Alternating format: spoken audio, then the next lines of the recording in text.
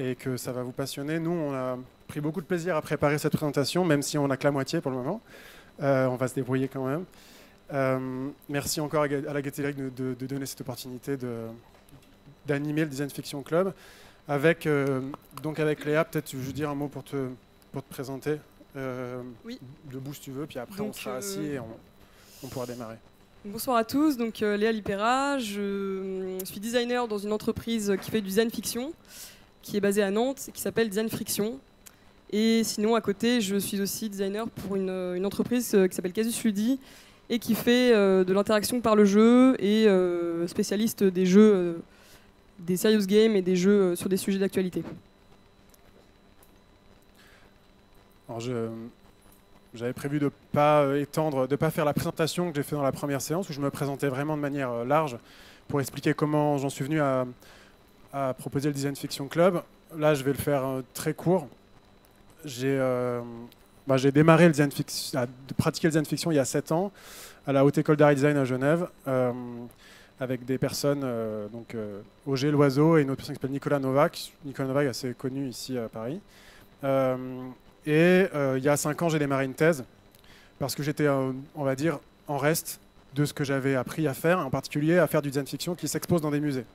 C'est ça que j'avais appris à faire et ça me, ça me dérangeait. Je, pense, je pensais que c'est une, pratique qui pouvait démarrer des débats de société et surtout en faisant autrement qu'en en faisant des expositions.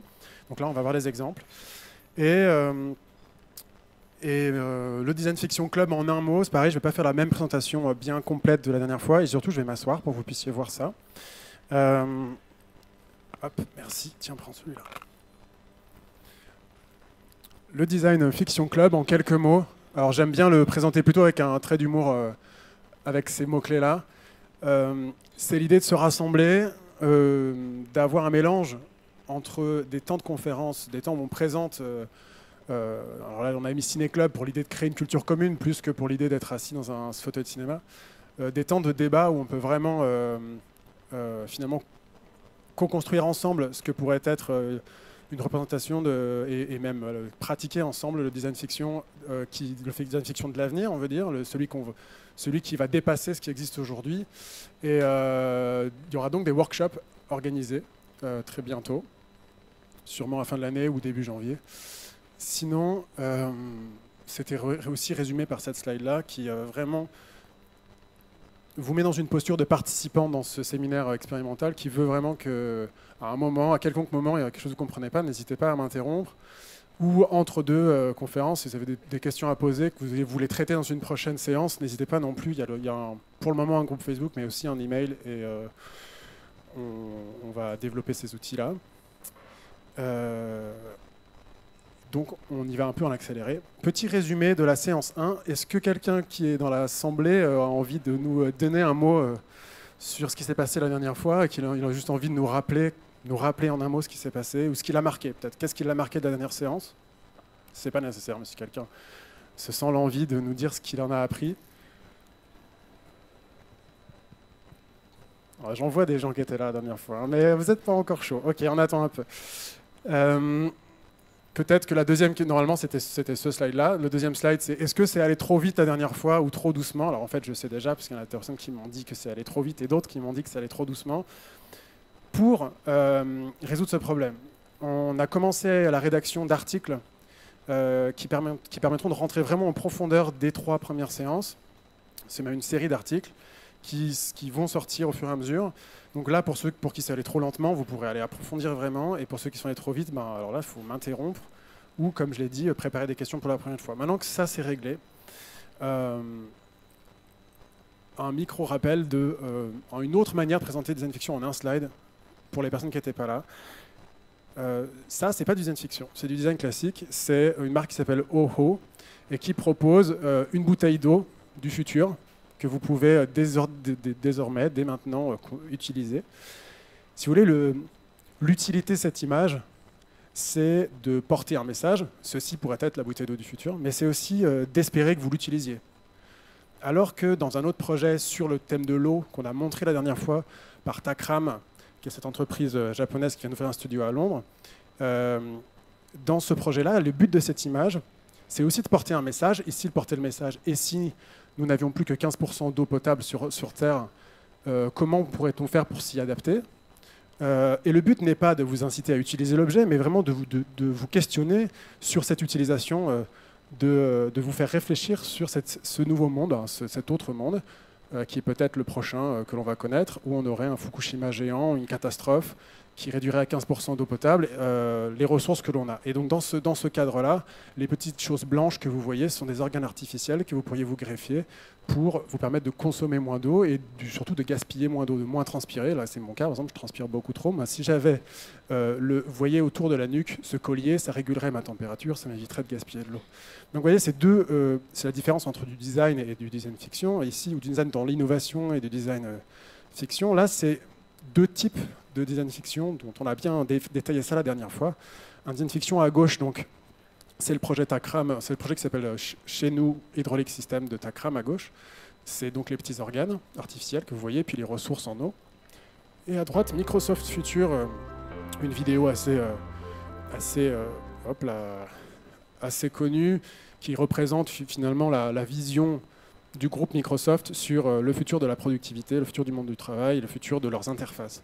Donc à droite, on a, une, on a à gauche, on a ce qu'on appellerait du design fiction qui est critique, euh, qui remet en question l'état du monde actuel, et à droite, un design fiction qui est ce qu'on appelle affirmatif, hérité d'un vocabulaire employé par, euh, voyez dans le domaine du design critique et du design fiction. Donc qui veut plutôt, qui, qui, fait la continuité du monde comme il est aujourd'hui, c'est la continuité de tout ce que sait faire Microsoft, mais en version future, si vous voulez. Donc une fois ça, c'est ce qu'on a dit à la première séance. Je comptais normalement détailler cette, euh, citation euh, qui est une définition du design fiction, mais on va la faire extrêmement vite. Dans cette définition de Bruce Sterling, qui, euh, comme on l'a dit la dernière fois, est un auteur de science-fiction qui est devenu ambassadeur finalement du design fiction. dans cette définition, il propose le terme prototype, prototype diégétique, c'est-à-dire c'est un, le but n'est pas, de faire des objets que vous allez utiliser, comme on l'a vu avec la bouteille d'eau, la sorte de boule bouteille d'eau, mais faire des, euh, des objets qui racontent un monde, qui sont extraits d'un monde, qui racontent une histoire ou qui portent un message. Et, euh, c'est ce qu'on entend par un prototype diégétique, c'est un prototype qui fait partie d'une histoire finalement, d'une histoire ou d'un autre monde. Et euh, l'autre élément important, c'est que dans cette définition, en tout cas, c'est que le but de ces objets, donc comme on l'a vu avec le tout premier exemple, c'est pas de vous inciter à les utiliser, mais plutôt à vous faire réfléchir à, surspendre votre incrédulité au fait qu'un jour, on pourrait très bien être dans le monde de Takram, dans ce monde avec 15% d'eau potable. Euh, mais cette définition, elle n'est pas... Euh, je pense qu'on va, on va pousser cette définition pour aller plus loin. Au cours de ces trois premières séances, on va pouvoir, et même dans le long du séminaire, on va essayer d'aller plus loin et de voir qu'elle elle est, réductrice et que, que ça ne recouvre pas l'entièreté du design fiction. Donc on a rajouté cette ligne-là, c'est que ce que le, design fiction peut être soit critique, soit affirmatif, euh, ce qui n'a pas, forcément été formulé de cette manière-là. Et surtout, on a cette manière de penser toute cette famille de pratiques très hétérogènes, très différentes, où tout le monde n'est pas forcément d'accord. Certaines personnes vont dire, moi je fais du design qui est plus spéculatif, moi il est plus critique, moi il est plus... Euh, etc., affirmatif. On pense c'est une famille de pratiques. Et le nuage est une, est une belle image parce que ça, permet d'être un groupe qui reste hétérogène, qui reste différent, qui peut se distendre, se déformer. Euh, d'où l'image du nuage. Euh, et le fait qu'on va aller voir plusieurs euh, points, plusieurs pratiques dans ce nuage. Tout ça, c'est ce qu'on s'est dit dans la première séance. les trois premières séances, sachant elles, vont aller à chaque fois chercher un élément différent. Je ne vais pas détailler parce que on essaie de gagner du temps. Et surtout, ce qui nous intéresse dans ce nuage, en tout cas dans ce séminaire, on est beaucoup plus concentré sur les pratiques de type critique. On l'a détaillé la dernière fois. On pense que c'est celles qui ont le plus de potentiel. Ce qu'on a montré également la dernière fois, c'est que c'est des pratiques qui ne sont pas récentes, elles ont une filiation historique. Il y a eu beaucoup de pratiques comme ça qui grippent le rapport d'un utilisateur à un objet de design ou de, d'un commanditaire au domaine de l'innovation, au domaine du design, des pratiques historiques qui portent divers noms. On peut remonter jusqu'à les 70, tout en haut à gauche, avec euh, ce qu'on appelait le design radical euh, italien, mais on ne va pas détailler ces images. C'était euh, important de montrer qu'il y a vraiment un ancrage historique, ce n'est pas des pratiques récentes. On a aussi montré qu'il y a divers types d'approches.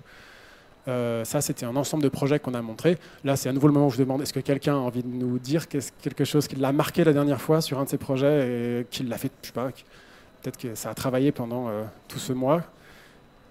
Je regarde ceux qui étaient là, qui a envie de nous, peut-être nous expliquer un des projets. Ouais, non, toi, t'étais pas là. Si, t'étais là? Non.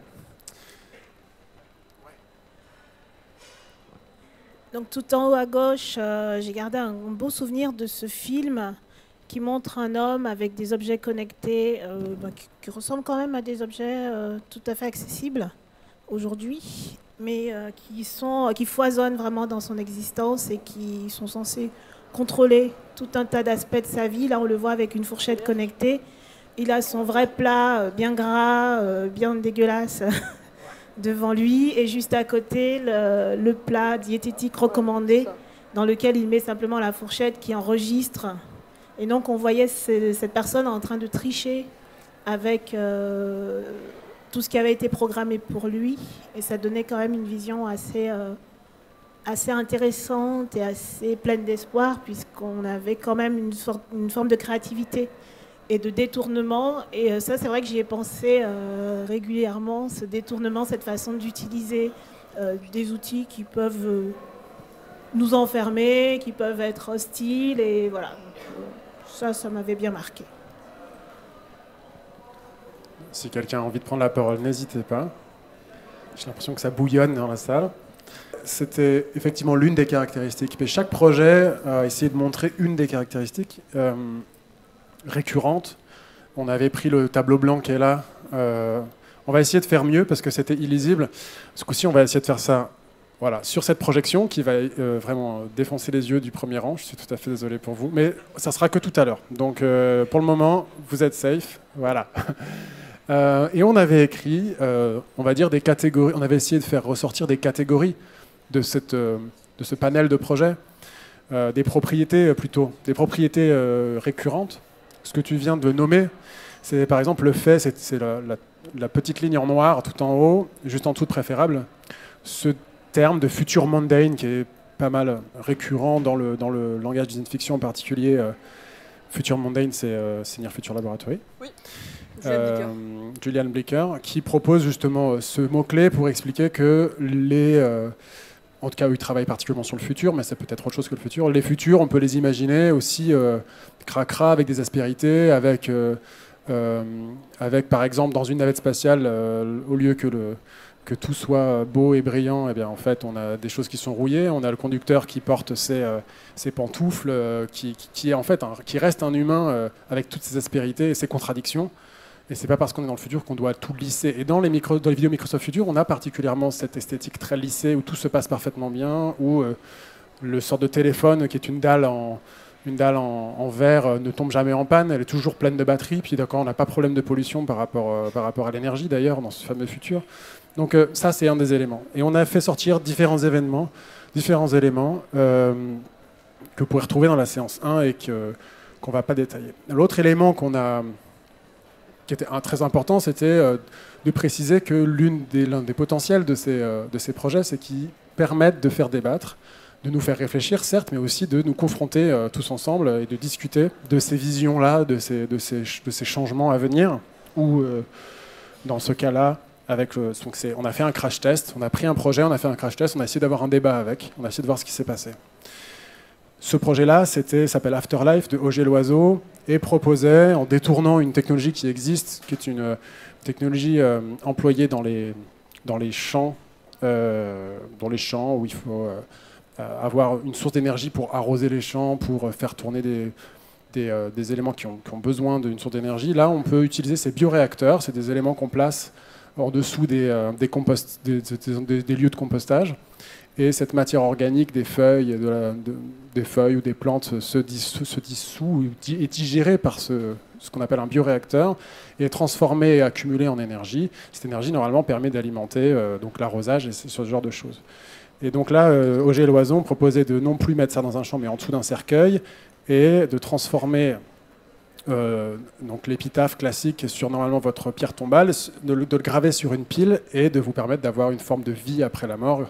Cette énergie qui est votre énergie vitale, de la remettre sur un testament à quelqu'un et de proposer à cette personne d'en faire quelque chose. Donc ça, on a eu un débat à partir de ce projet.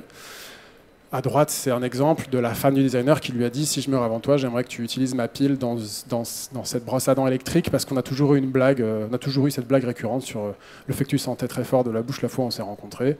Donc euh, c'était sa manière elle de la faire rire après, après la mort. Donc on a eu ce débat et, et ce qui nous a frappé, c'est finalement que les réactions critiques étaient beaucoup plus exprimées envers envers le projet qu'envers le thème, le thème lui-même qui était euh, le thème de la, des formes de vie après la mort. On a beaucoup euh, eu, euh, donc Daniel ici présent, mais d'autres personnes aussi, des critiques sur le fait que ce projet n'est pas très pertinent vis-à-vis des enjeux sociétaux qu'on a aujourd'hui sur, sur la rareté des denrées, de l'énergie, le recyclage des piles.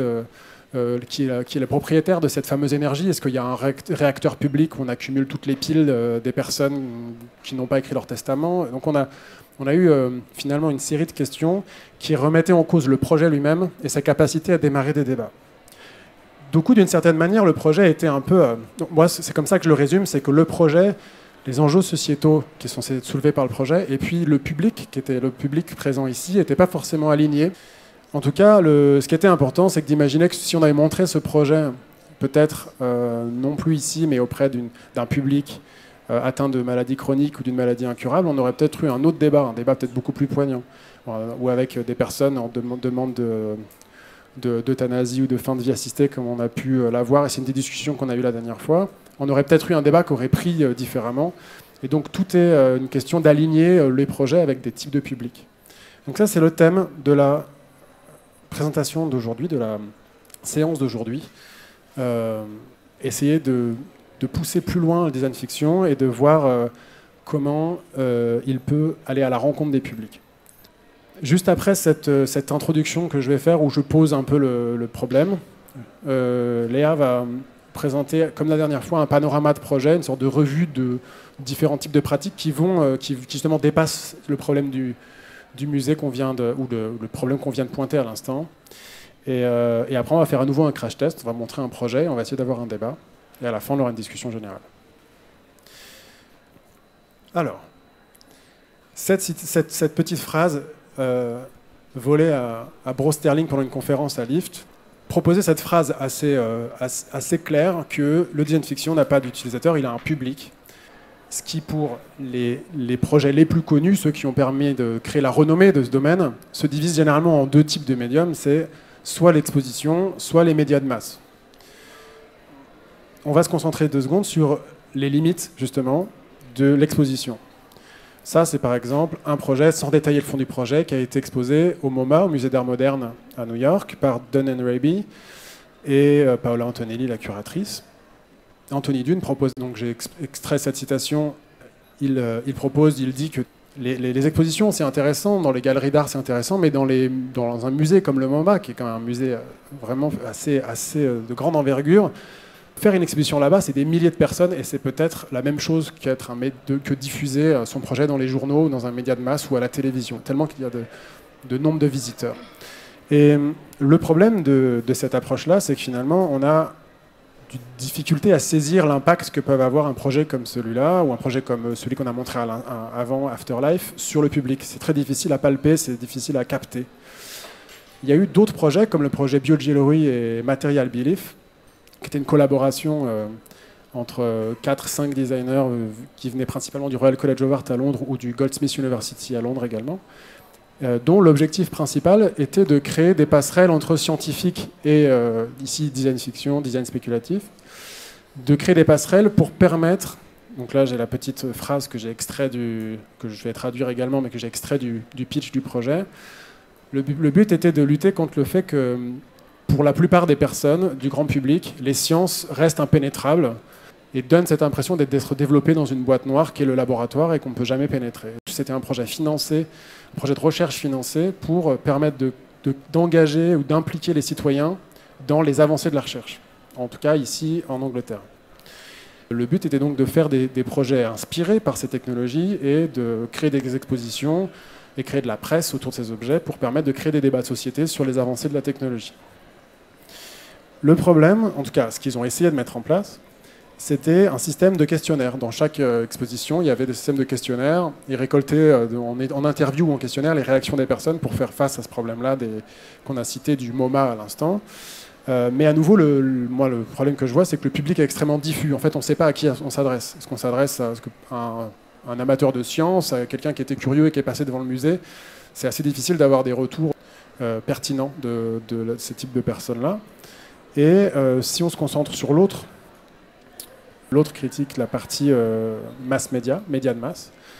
Le projet que vous voyez là, qui était un projet euh, duquel on a parlé la dernière fois rapidement, où euh, en 2001, donc c'est un projet qui date, Roger Loiseau avait proposé que ces téléphones mobiles, dont la taille réduit de plus en plus, on est passé de la cabine téléphonique à ce gros téléphone mobile et puis à un téléphone de plus en plus petit, pourrait finir dans une dent. Et en fait, on aurait notre téléphone qu'on pourrait décrocher en appuyant sur notre mâchoire et avoir des discussions. À l'époque, en 2001, ça a fait tellement de bruit que euh, ça a fini par faire un, encart en, médaillon sur la couverture du Time Magazine. Et dans la thèse de James, il explique comment euh, il y a eu une couverture énorme. Effectivement, ça a touché beaucoup de gens, mais euh, les, réactions étaient très superficielles. C'est j'aime, j'aime pas, ou généralement je déteste, ou ils recevaient même des, des emails de la part de scientifiques qui disaient ne faites surtout pas ça, c'est une catastrophe. Mais ça se limitait ça ne questionnait jamais un peu plus loin qu'est-ce que quelles sont les autres implications de la miniaturisation, euh, de la, chirurgie invasive et de, la téléphonie mobile. Ça, se, limitait à juste j'aime, j'aime pas. Et du coup, comme euh, piste de recherche dans sa thèse, il a voulu. Euh, donc je reprends ça, c'est le projet qu'on a, le projet que vous avez vu juste à l'instant sur la fameuse pile Afterlife.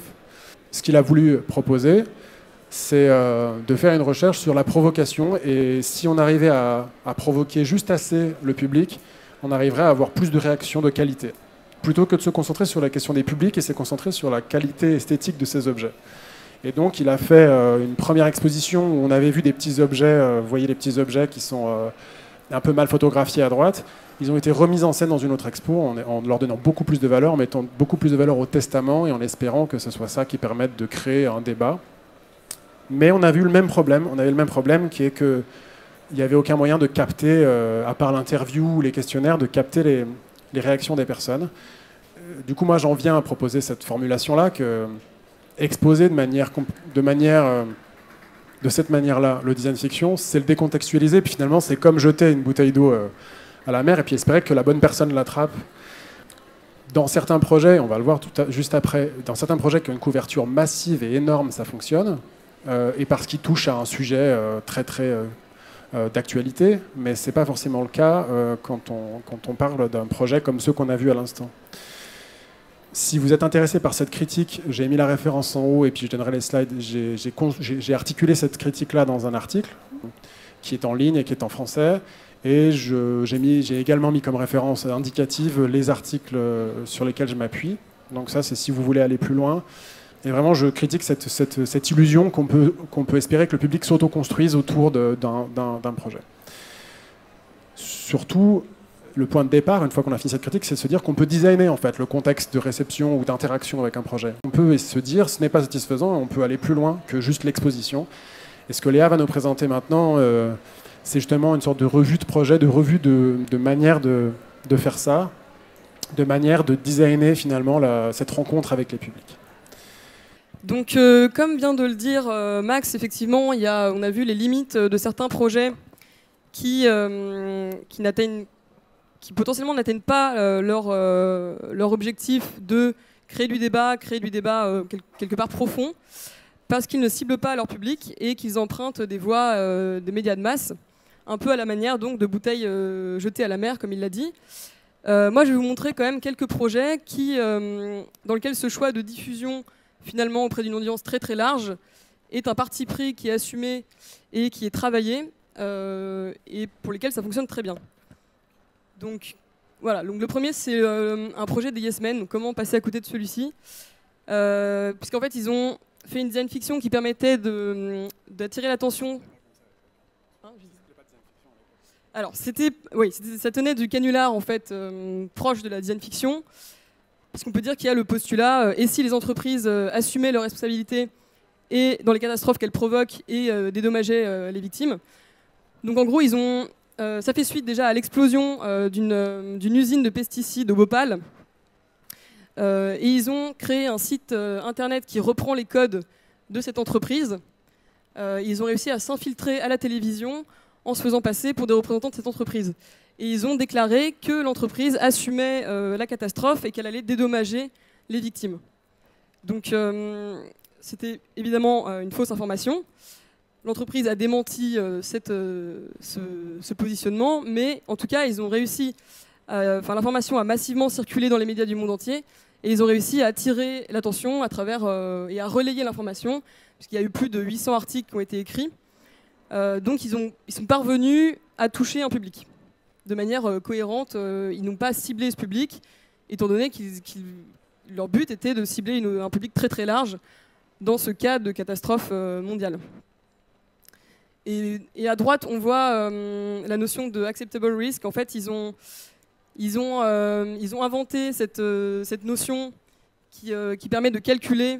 Fait, ils ont présenté un logiciel qui permettrait de calculer la, notion de risque acceptable, c'est-à-dire à partir de combien de morts l'entreprise, enfin combien de morts l'entreprise peut se permettre, et à partir de combien de morts il faut qu'elle prenne des mesures parce que ça peut lui porter préjudice donc notamment des paramètres euh, qui interviennent dans le logiciel comme la nationalité des morts, etc. Enfin quelque chose de très choquant. Et ils ont, présenté ce concept devant euh, un public d'investisseurs, euh, de banquiers, et certains ont souhaité investir dans le logiciel. Pour l'anecdote. Voilà, on va, on va voir un autre projet si on arrive à le voir. Je suis pas sûr qu'on arrive à voir la vidéo, mais peut-être. Ok. Donc en fait, c'est un, un projet de Sputniko qui s'appelle Red Silk of Fate. Euh, et donc là, c'est complètement différent, mais c'est aussi un projet qui utilise des, médias de masse. Ici, c'est YouTube. C'est un projet qui, euh, est donc de format vidéo et qui a fait 54 000 vues et qui revisite un mythe, euh, un ancien mythe asiatique, qui raconte l'histoire en fait de. Dans ce mythe-là, les dieux tendent un fil, un rouge invisible entre ceux qui sont destinés à être ensemble. Et ici, la protagoniste, par moyen de biohacking, va, va se servir de verre à soie dans lesquels elle a mis du génome qui permet de synthétiser l'ocytocine, donc l'hormone de, l'attachement, pour tisser une écharpe qu'elle va euh, utiliser pour essayer de séduire euh, son, coup de cœur. Euh, donc en fait, ça pose la question de, revisiter les mythes à une époque où les avancées scientifiques ont tendance à démystifier certaines, certaines légendes, certains phénomènes. Et donc, bah, un mythe étant, on peut dire, un pan de culture, euh, c'est de manière assez logique, ils n'ont pas cherché à cibler euh, plus avant leur, euh, leur public. Il reprend les codes du clip musical, donc c'est aussi en lien avec le fait que c'est un, c'est un studio japonais, donc influencé par la culture japonaise, mais il s'est adapté son, au canal en fait sur lequel c'était diffusé. Et ça, d'après ce que j'ai compris, d'après ce que m'a expliqué Léa, ça a extrêmement, ça a énormément tourné sur les réseaux sociaux parce que c'est d'abord avant tout un clip de musique on, regarde ça comme un clip de MTV. Sauf que derrière, c'est un moyen de vulgariser euh, une, avancée technologique euh, assez exceptionnelle. C'est euh, une manière de révisiter tout, ce qu'elle a pu expliquer. Donc c'est un peu comme si c'était déguisé. on regarde un clip, un clip musical et en fait, qui inonde énormément les, les YouTube et les Facebook. Et en fait, on, on assiste Une infiltration sur des médias de masse. Voilà. Ouais, un peu. Donc on peut aussi parler du fait que des les musées les musées ne euh, sont pas seulement des musées institutionnels comme le MoMA ou euh, d'autres musées d'art contemporain. Il y a aussi des musées un peu, un peu plus spécifiques dans lesquels peuvent être euh, exposés les design fiction. Donc là, c'est un projet de Takram qui s'appelle Heavy Load, qui présente un monde où le travailleur, finalement, pour rivaliser avec l'automatisation et une nécessité d'être productif, va gagner un temps précieux puisqu'il n'a plus besoin d'aller aux toilettes avec ce dispositif. Donc, euh, et ce musée a été exposé euh, au musée de la merde euh, en Italie, qui est un musée un peu particulier, puisque c'est un musée qui a été créé par un fermier dans son exploitation pour se faire des revenus supplémentaires, puisqu'il souffrait de, la crise du prix du lait.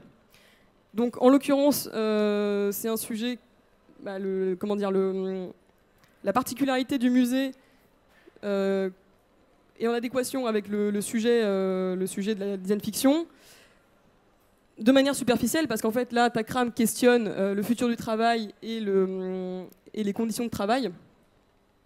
Donc on aurait pu potentiellement envisager de le confronter euh, à des publics qui, s'intéressent à ces sujets-là. plutôt que de l'exposer dans un musée. Et euh, l'image à droite, c'est juste pour le mettre en perspective avec un, pour ceux qui l'ont vu, un- une enquête de cache investigation qui s'appelle Travail ton univers impitoyable, qui a été diffusée il n'y a pas longtemps, et dans lequel on voit des caissières du Lidl qui sont encouragées à rester debout et à ne pas quitter leur poste pour être plus, euh, plus productives. Et on voit aussi d'ailleurs dans ce, dans ce reportage des préparateurs de commandes qui travaillent avec une, une oreillette qui leur donne des ordres, donc c'est la commande vocale, et ils sont complètement déshumanisés. Donc euh, tout ça pour dire que cette design fiction est encore d'actualité, malheureusement. Un autre exemple euh, de design fiction qui, qui a sa place dans un musée un peu particulier, c'est ce projet Winning Formula du Near Future Laboratory. Ils ont imaginé un, journal fictif qui va questionner le futur du sport. C'est un journal qui, donc, il y a marqué dessus qui vient de 2018. Et il va euh, s'intéresser à la manière dont, par exemple, la manipulation des données fonctionne comme une nouvelle forme de dopage, euh, à la manière dont, comment vont impacter les paris à haute fréquence euh, dans ce futur-là, comment, comment il va y avoir des nouveaux langages qui vont décrire les joueurs et parler de leur rôle au sein des équipes. Et ce, journal a été exposé au Musée national du football à Manchester, et il a permis de nourrir sur place des discussions avec des passionnés de sport. Donc c'était bien le public que souhaitait, euh, que souhaitait cibler le, studio. Donc euh, ici, la fiction, elle est confrontée dans un musée à thème qui va, elle va chercher en fait un public particulier. Donc il y a une réflexion en amont sur le contexte dans lequel va être placée la design fiction. Et en l'occurrence, on peut aussi dire que c'est un projet qui a complètement débordé du cadre du musée, de par son, sa forme, enfin son support, son support qui est en fait un, du coup, comment dire, un format du quotidien et du banal, le journal euh, presse. Et il a été euh, vendu parmi des, journaux bien réels. Il y a un encart de ce journal qui a été glissé dans euh, un quotidien, donc en l'occurrence le Manchester Evening News, qui a été ensuite distribué à 130 000 exemplaires. Donc il a il s'est- évadé du musée euh, jusque dans euh, le quotidien euh, des gens. Donc pour poursuivre avec cette notion d'évasion des musées, on va, hum, on va voir d'autres projets qui sortent de- des présentoirs pour, s'infiltrer dans, des, dans des lieux différents. Voilà, donc là on passe donc à des projets qui sont hors musée. Alors le plus peut-être le plus emblématique, c'est celui-ci qui s'appelle 99 Cents Future d'Extrapolation Factory, euh, où les designers ont conçu en atelier avec le grand public des design fiction, euh, qui ont infil- infiltré un 99 Cent Store. Donc en gros, c'est l'équivalent euh, des magasins tout à 1 euro qu'on a, aussi en France.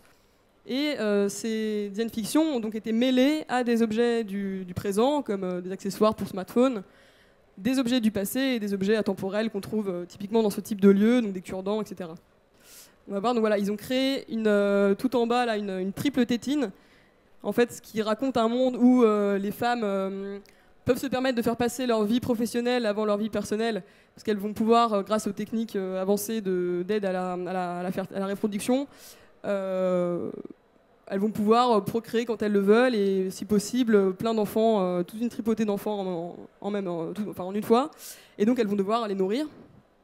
Ensuite, on a tout en haut un kit pour, grâce aux méthodes de biohacking, concevoir sa partenaire, son, sa, comment dire, sa créature qui va vous accompagner lorsque vous prenez du LSD et de l'ecstasy, vu que maintenant on, a remplacé les antidouleurs par ce type de substances euh, récréatives. Et euh, on a coutume de concevoir des, petits animaux de compagnie pour, avec lesquels communier euh, quand on prend ces substances. Et enfin, au milieu, euh, j'adore celui-là, on voit un. Pardon. C'est un. C'est un extrait d'ADN d'espèces disparues, donc en l'occurrence c'est un follicule de poils de menton de Mitrioagus balearicus, aussi connu sous le nom de chèvre des grottes des îles Baléares. Et cette petite fiole permettra en fait à terme de, recréer, un peu comme Jurassic Park, de recréer euh, l'espèce. Voilà. Tout ça pour dire que les clients ici sont mis euh, en présence des objets euh, qui, incarnent ces visions du futur.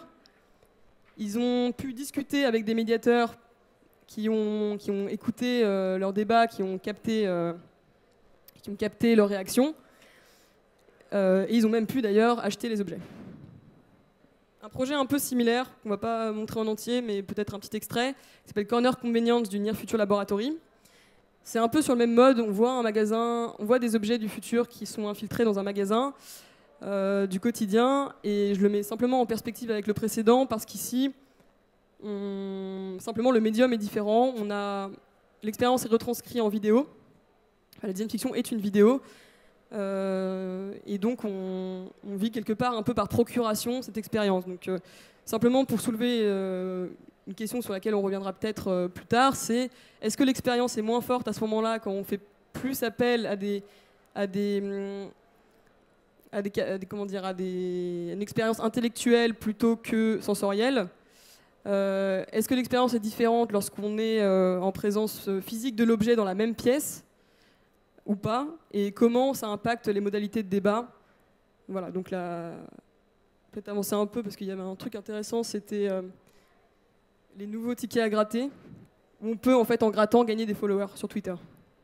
Je trouve ça pas mal.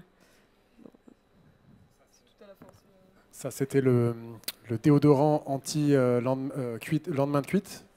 On, reconnaît l'esthétique qui avait pu séduire Katie la, la, dernière fois, qui est cette, voilà, le voleur.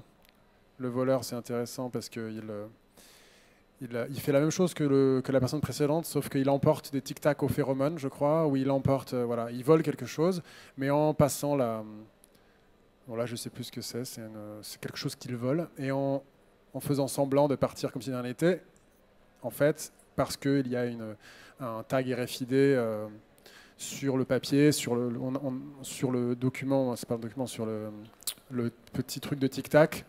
Il a payé sans le savoir. Et enfin, et c'est donc un prototypage très. Euh, euh, qui, ne nécessite aucun moyen technique. C'est juste une prestation d'acteur et un bout de, bout de feuille imprimé euh, qui vous laisse vous projeter dans ce monde. Et voilà, il a la musique, on imagine qu'il a la musique, qu'il voit des choses.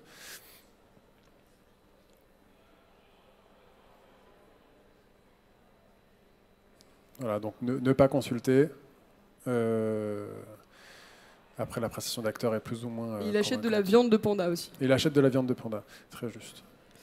Voilà, donc. Euh, c'est bon? Voilà, c'est bon. Donc en fait, on, on voit qu'en fonction du, du, contexte dans lequel est placée la design fiction et en fonction du, du, médium qui est utilisé, on a différents modes d'interaction euh, des publics avec ces design fiction.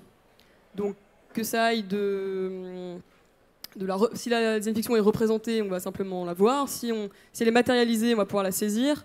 Et si euh, le prototype est fonctionnel ou semi-fonctionnel, on va même pouvoir carrément tester. Donc, euh, je vais passer assez rapidement, mais par exemple, ça c'est un projet euh, d'extrapolation factory encore qui s'appelle Alternative Unknowns, qui est en fait une performance théâtrale c'est-à-dire que des comédiens ont, utilisé des scénarios qui avaient été conçus par des participants pour improviser, montrer des scénettes qui font intervenir des, objets qui ont été euh, conçus également par les participants. Et dans ce type euh, de restitution de la design fiction, on aurait pu imaginer, par exemple, eux ils l'ont pas fait, mais on aurait pu imaginer qu'ils fassent intervenir euh, les participants, en tout cas leur public là, pour, pour changer le cours des événements dans les, dans les pièces de théâtre et, donc euh, intervenir de manière poussée dans la design fiction. je mentionne ça parce que j'ai vu dans un, pour ceux qui l'ont vu, il y a un documentaire infrarouge qui est sorti il y a pas longtemps qui s'appelle Harcèlement au travail, l'affaire de tous, qui malheureusement n'est pas une design fiction, euh, qui oui malheureusement n'est pas une design fiction, qui est une situation bien réelle.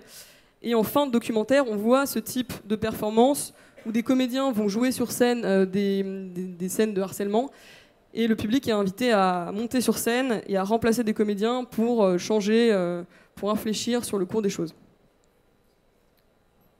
Pendant ce temps, je note euh, des choses sur lesquelles on reviendra à la fin. C'était l'équivalent du tableau blanc. On a fait ça la dernière fois, mais là, vous allez pouvoir mieux, mieux le voir. Donc, j'y reviendrai à la fin. Mais là, je suis en train de noter les différents types d'échelles auxquels ce qu'a pu montrer Léa se passe. D'une échelle de masse média, qui était celle du début, à une échelle plus collective, locale collective ici.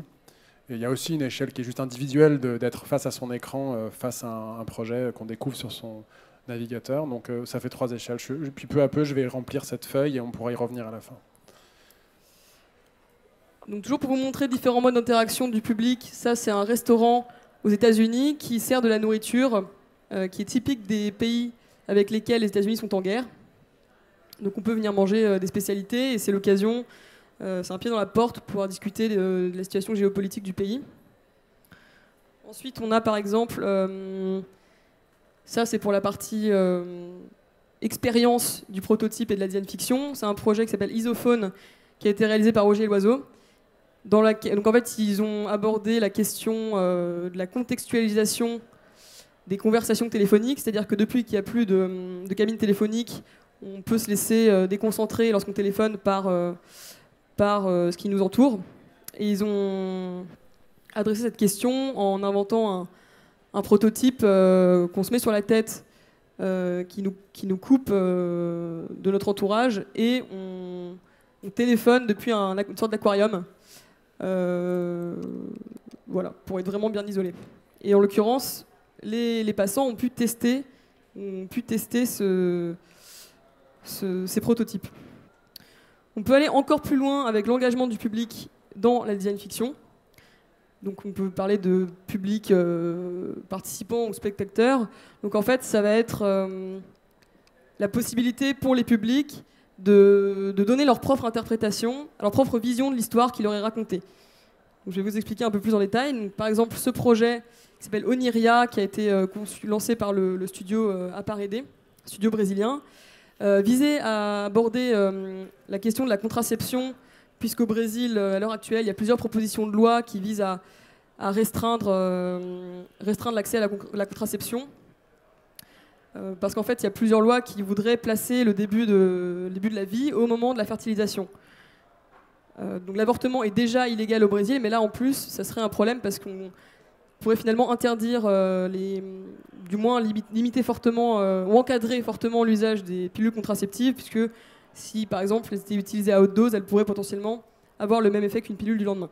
Donc ce qui s'est passé, c'est qu'ils ont fait un scénario de départ qui, était volontairement euh, léger et avec euh, peu de détails pour laisser la possibilité à des participants de se réapproprier la, design fiction.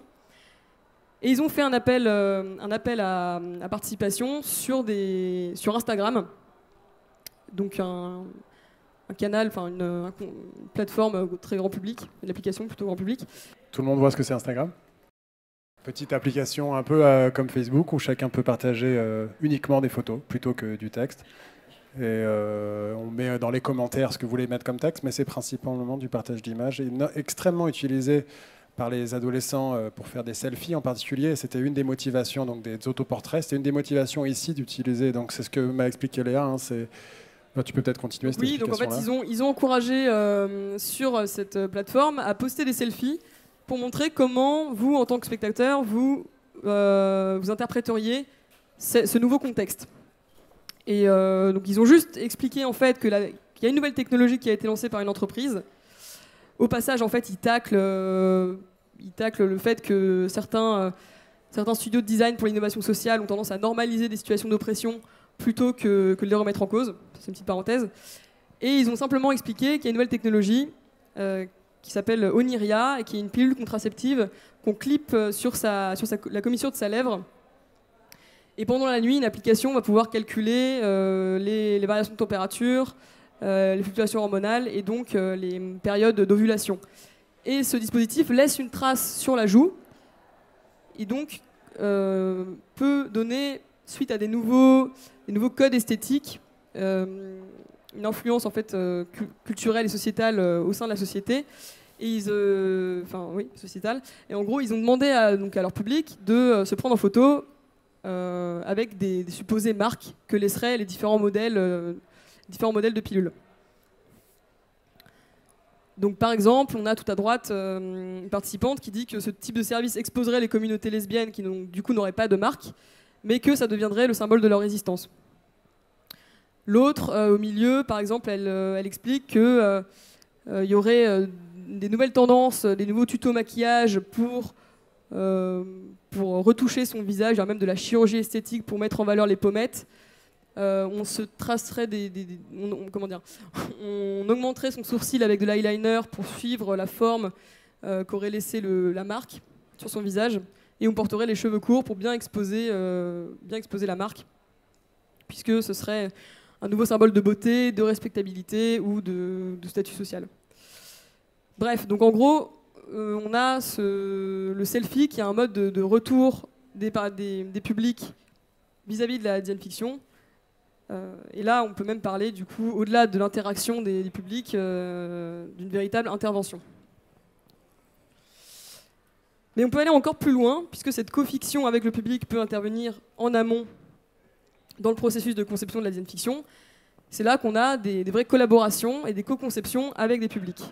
Donc avec des publics experts. Donc ici, on a deux projets. Le premier, c'est Circumventive Organs de A.G. Haynes, qui a été élaboré en partenariat avec des scientifiques et des artistes, où ils ont imaginé une, une nouvelle réalité où les organes sont produits par impression de tissus vivants et avec des tissus qui sont euh, hybridés avec des organes d'animaux. Donc par exemple, à gauche, c'est un défibrillateur qui, qui est en fait euh, qui est en fait un bout d'organe d'anguille électrique qui a été hybridé pour pouvoir être placé dans le corps humain et détecter euh, les, les, périodes, enfin, les éventuelles attaques cardiaques et se déclencher dans le corps. L'autre, Victimless Laser, c'est un projet mené par Symbiotica, euh, dont font partie les artistes euh, Oron Katz et Yonat Zour, qui a été fait en collaboration avec l'école d'anatomie et biologie humaine euh, d'Australie et une entreprise. Donc là, on a une véritable collaboration transdisciplinaire également.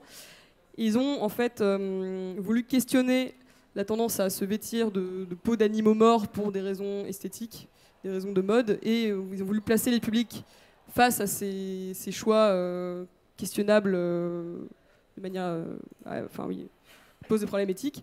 Et ils ont euh, conçu une, veste in vitro avec des tissus vivants en laboratoire.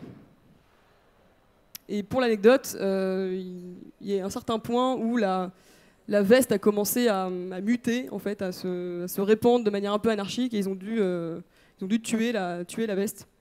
Ce qui pose du coup la question de... est-ce plus éthique de, de tuer des tissus semi-vivants que vivants? Ça a déclenché effectivement tout un débat parmi les, la communauté ici des collaborateurs qui étaient les scientifiques, de se dire euh, maintenant qu'on s'est un peu attaché à développer bah, cette veste qui est censée ne pas avoir fait de victime parce qu'on n'a pas tué d'animaux pour arriver à créer ce cuir. Euh, on arrive à le faire pousser grâce à notre technologie dans des boîtes de pétri, dans, dans notre laboratoire. En plus, ça ressemble à une sorte de petit humain parce que ça, a la forme d'une veste. Maintenant qu'on s'y est attaché, mais on va être obligé de le débrancher, de débrancher notre installation artistique. On sait que le matériau est vivant.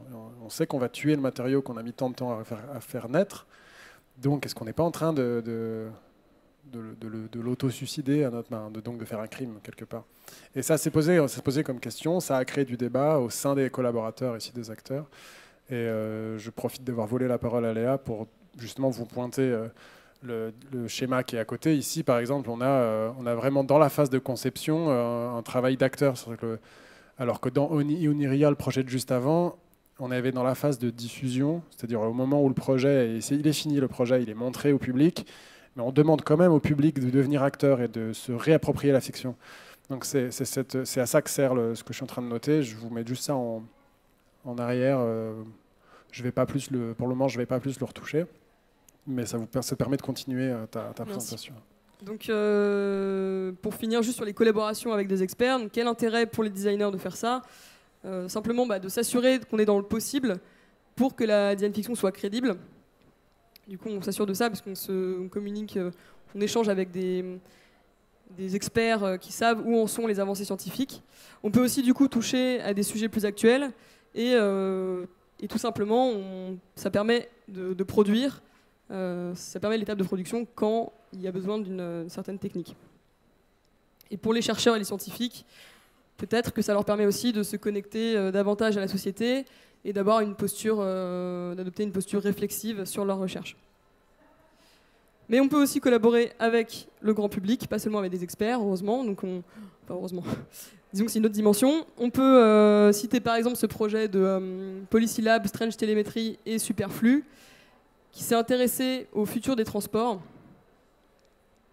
donc en Angleterre, et qui a proposé un atelier euh, participatif pour le grand public pour qu'ils imaginent ensemble quels pourraient être les futurs dans le domaine du transport.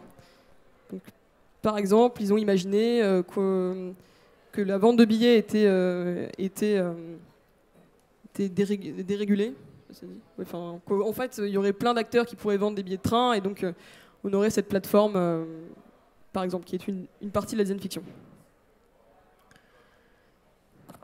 Je, précise, euh, comme, comme on a pu en discuter avant, que là, la constellation d'acteurs qui se sont impliqués, et pour une fois, donc là, ce n'est pas des scientifiques, c'est. Euh, bah, Peut-être tu peux nous en dire un peu plus, un peu plus là-dessus. Qui était impliqué Alors, dans donc, il y avait euh, Policylab, qui est une organisation gouvernementale, euh, deux studios de design, et, et du coup, pendant le workshop, le grand public.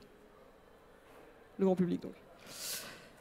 On peut aussi euh, fonctionner de manière asynchrone en faisant une sorte de ping-pong entre collaboration avec des experts, collaboration avec le grand public. C'est ce qu'a fait Extrapolation Factory euh, dans le projet qu'on a vu plus tôt, le projet 99 Sense Future. Ils ont simplement parlé, discuté avec des experts pour euh, identifier des signaux faibles et des tendances fortes. et ils ont proposé à, des participants d'extrapoler ces signaux pour faire des design fiction. Et on peut faire un ping-pong euh, plus long. Par exemple, c'est ce qu'on va faire nous avec euh, le studio Design Friction euh, dans le cadre d'un séminaire sur l'intelligence artificielle où on va discuter en amont avec des experts pour identifier des, points de tension et des problématiques. On va ensuite faire des ateliers pour prototyper des design fiction avec le grand public. Puis on va soumettre ces design fiction à un public d'experts à nouveau pour qu'ils alimentent le débat.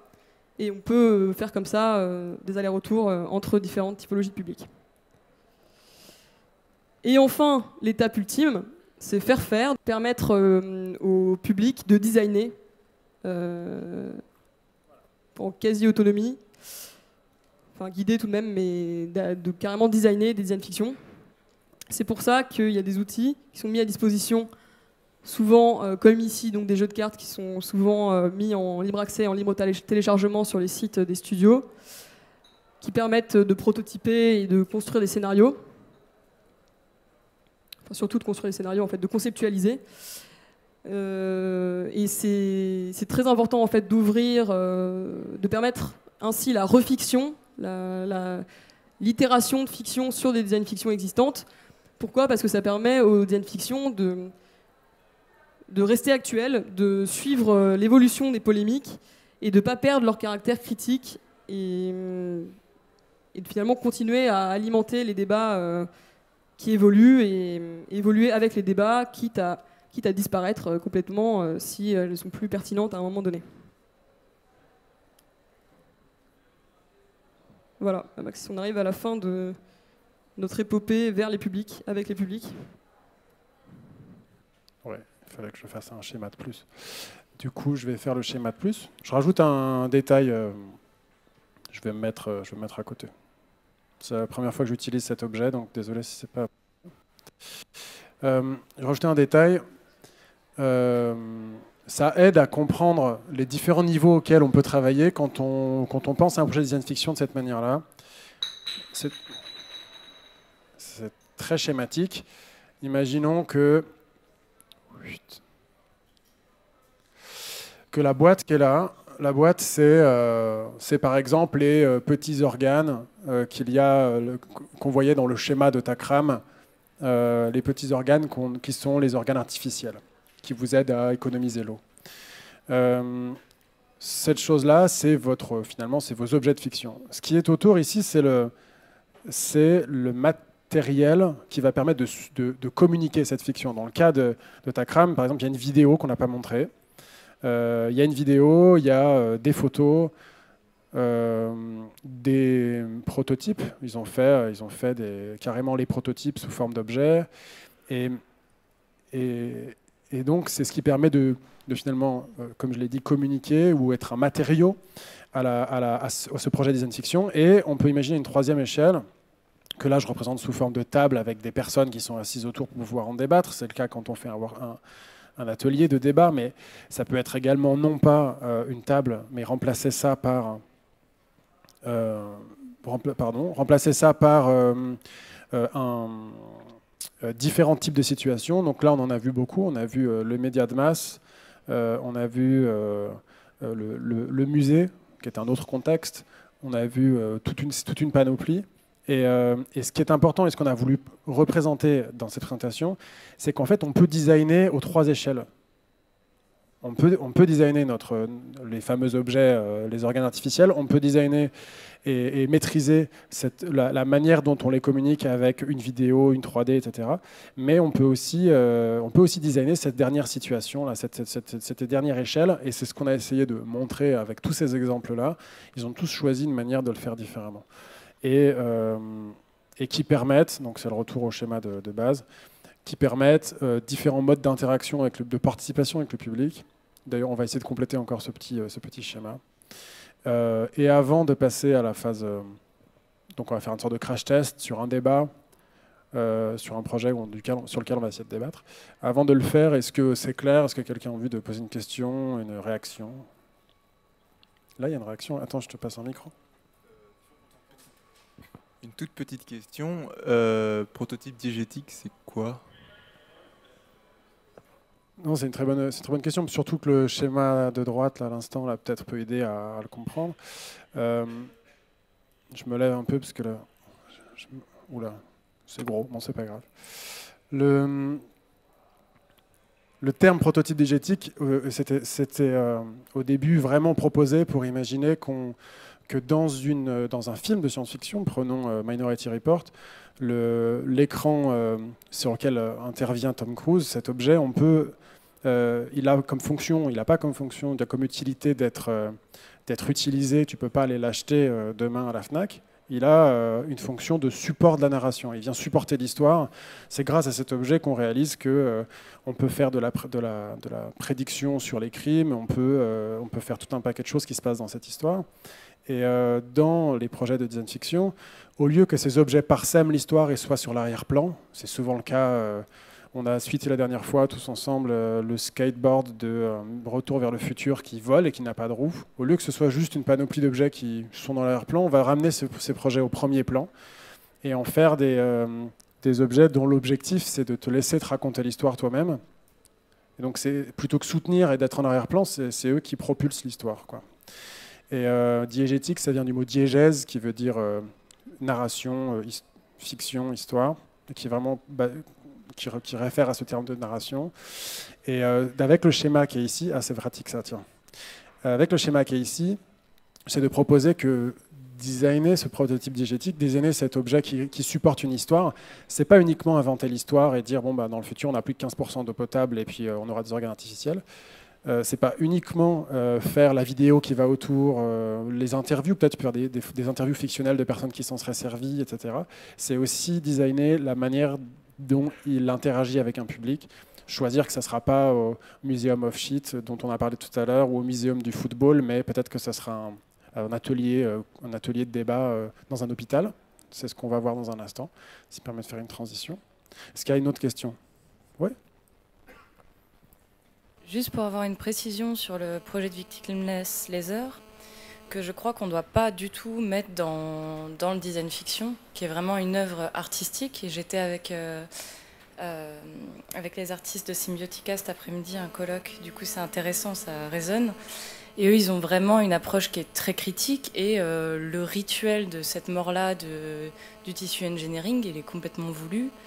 Et il n'y a pas d'usage à proprement parler, il n'y a pas de questionnement sur en quoi on va révolutionner la planète avec euh, ces tissus engineering, mais vraiment une position critique d'artiste qui est complètement assumée et que nous peut-être on a du mal à comprendre en tant que designer parce que on veut, on veut produire des choses qui font du sens, on veut faire des critiques qui vont faire évoluer euh, les objets. Mais voilà, du coup, moi, je, la, je trouve ça important de bien catégoriser euh, quand même ce projet-là, qui, n'est pas une design fiction voilà, qui, la genèse n'est pas là. Euh, et, je sais que vous l'aviez mis euh, pour son rapport, euh, on va dire, art-science, et du coup la collaboration qui est, très intéressante. Mais bon, peut-être bien faire la distinction. Voilà. merci beaucoup de l'avoir précisé parce que c'est aussi un peu, ça fait partie de l'intention dans, dans le panoplie de projets de, de montrer des projets qui sont limites. On aime utiliser le mot borderline, mais en français qui sont limites. On se demande est-ce que c'est encore du design fiction? Ça partage énormément de points en commun. Moi, j'en ai parlé avec Oron Katz euh, quand il est venu à l'EDSAD. Il m'a dit euh, qu'il veut lancer un nouveau terme qui est contestant design. après design critique, après design fiction, etc. Donc il, lance Constant Design parce qu'il a pris la place de Anthony Dune au Royal College of Art, parce qu'Anthony Dune était donc cette personne qui a lancé le design critique, et il est parti du Royal College of Art euh, à Parsons School à New York, et du coup la place était vide, donc c'est Ron Katz qui a pris la place. Ils ont énormément collaboré ensemble, euh, et donc il propose un nouveau terme. Il ne dit pas que son travail à lui est du design, mais, euh, mais donc ça fait un peu partie ici, donc c'est important qu'on le précise, ça fait partie un peu de cette envie de, de, de montrer que la figure du nuage est, pertinente parce qu'elle permet de montrer qu'il y a des points communs entre des projets où les, acteurs eux-mêmes diraient non, moi je pense que c'est pas du design fiction ce que j'ai fait. Et dans, dans, certains égards, ici, euh, à partir du moment où ils ne nous proposent pas effectivement peut-être un service sur comment se servir de. où, où est-ce qu'on peut acheter la victimless leather, euh, la veste, peut-être tant, qu'il n'est pas allé jusque-là, c'est peut-être pas encore du design fiction, c'est effectivement une très bonne euh, remarque. J'avais pensé encore autre chose, mais j'ai zappé. Donc merci de l'avoir remarqué.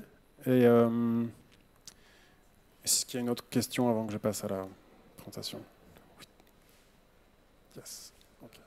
Du coup, avant de, montrer le projet, je repars de, donc, je repars de, juste du contexte.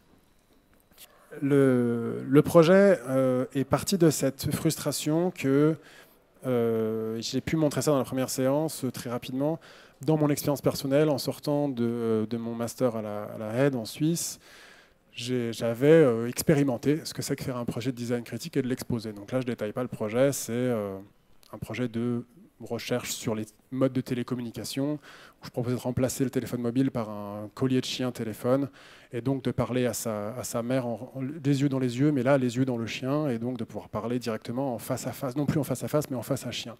Donc euh, c'était une exploration euh, sur l'absence du non-verbal quand on parle à distance, quand on est sur des, canaux comme Skype, il y a une absence de, tout un, ensemble des canaux d'expression de, non-verbaux qui sont juste réduits à une, pla une plaque de, verre et d'un écran. Là, le but était de voir ce que ça faisait d'avoir vraiment tout ce qui est la proxémie et ce genre d'éléments non-verbaux qui étaient restitués.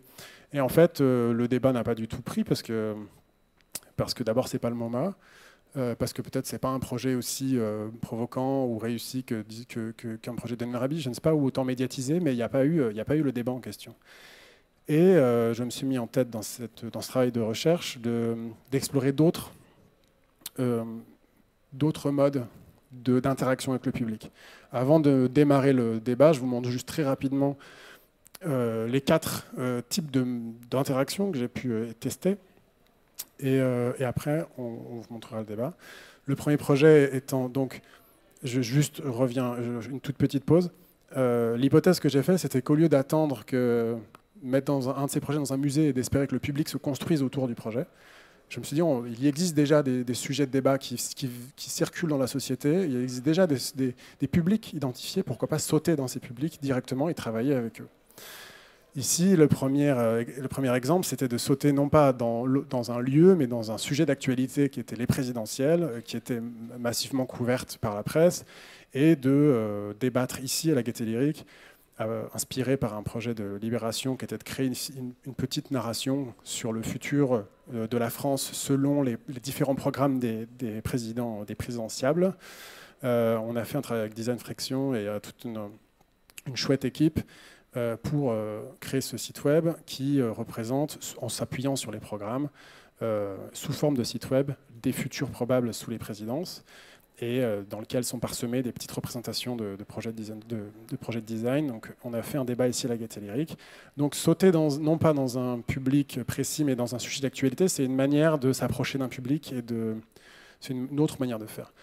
Un deuxième projet euh, qui est. Euh, qui est l'expo, mais in situ. Donc, c'est une expo ici qui se passe dans un laboratoire de recherche, l'INRA, dont euh, la personne qui, qui m'a permis d'être le partenaire et de démarrer ce projet est dans cette salle, et que je remercie encore. Euh, L'INRA qui travaillait sur, euh, à ce moment-là, en tout cas la partie des personnes, euh, sur le, la prédiction de santé grâce au séquençage ADN euh, donc séquençage ADN aujourd'hui c'est la taille c'est cette machine qui est une des machines qui fait la taille d'un gros frigo d'un gros frigo mais suivant ce qu'on séquence quand on séquence juste par exemple une molécule d'une plante on peut peut-être euh, ou d'un ou d'une bactérie peut-être qu'on peut en tout cas on en arrivera bientôt à cette taille là Euh, et couplé avec les données qu'on arrive à extraire de votre microbiote intestinal, donc votre flore intestinale, on en arrive à faire des prédictions sur votre état de santé à venir. Et ça, c'est les, euh, les, les, recherches qui étaient conduites à ce moment-là par les personnes qui étaient mes partenaires, que j'ai pu interviewer pour arriver à, en comprendre comment ça, comment ça en fonctionne, et de proposer pour leur conférence, une conférence où ils se réunissaient euh, pour débattre de ces avancées-là techniques et scientifiques, de proposer des applications potentielles. Plutôt que détailler les projets, euh, donc par exemple c'était l'équivalent de votre application Nike ou de votre application de santé qui vous dit si vous avez bien mangé, ici c'était la même chose mais basé sur euh, des critères d'épigénétique. Donc je ne détaille pas le projet mais ça montrait que votre, votre application vous donnait même votre, fameuse espérance de vie était sponsorisée par la Maïf, par votre assurance quand vous cherchiez un restaurant, euh, vous aviez les restaurants recommandés, puis les restaurants pour lesquels vous avez un malus. Et euh, ça, sur un autre, une autre, j'ai fait quatre propositions, une autre proposition, euh, puisqu'on peut prédire votre état de santé, on peut aussi peut-être prédire votre date de, décès. Donc pourquoi pas proposer, la Poste proposerait la Poste-Poste, qui est un, colis de poste que vous pouvez envoyer dans le futur. et, et, ça, c'est inspiré d'histoires vraies. Euh, le même pack que pour les packs de mariage, avec euh, organiser la fête, organiser euh, le DVD souvenir, mais ici les pré-funérailles. Donc c'est inspiré de, dates d'histoire Donc c'était quatre posters. Ce qui est intéressant, c'est pas le fond du projet, c'est la forme. ici, on est dans une, une interaction par interview et ensuite par, par confrontation. et j'ai pu faire des interviews aussi avec les, avec les personnes qui étaient là pour avoir leur retour sur les dérangements, euh, parce que ça leur faisait d'être confrontés à ça. La personne qui est juste là, c'est aussi la personne qui m'a commandité euh, trois autres projets euh, pendant trois années suivantes, donc ça l'a particulièrement touché. Un autre type de, fonctionnement, c'est la résidence. Donc là, pendant un an, l'espace éthique Île-de-France, qui est aussi un espace éthique qui réfléchit, au, sujet des maladies neurodégénératives dont on va parler dans un instant. ils se sont aussi posé la question de la prédiction de santé. C'était vraiment la, continuité du même sujet de débat euh, qui était celui de l'INRA, mais dans le secteur de ici cette commission éthique qui est spécialisée dans, dans on va dire dans la santé et qui est dans un hôpital, à l'hôpital Saint-Louis à Paris, et qui se posait cette question de, des conséquences potentielles euh, d'avoir un, système de santé qui permet de prédire. Euh, et donc on a proposer qu'une nouvelle application sortirait pour les personnes qui ont un taux de risque de, tomber, euh, de, contracter une maladie grave qui dépasse 90%. Et cette application, c'est un Le Bon Coin pour les personnes condamnées à tomber malades. Et ce Le Bon Coin vous donne différents types de...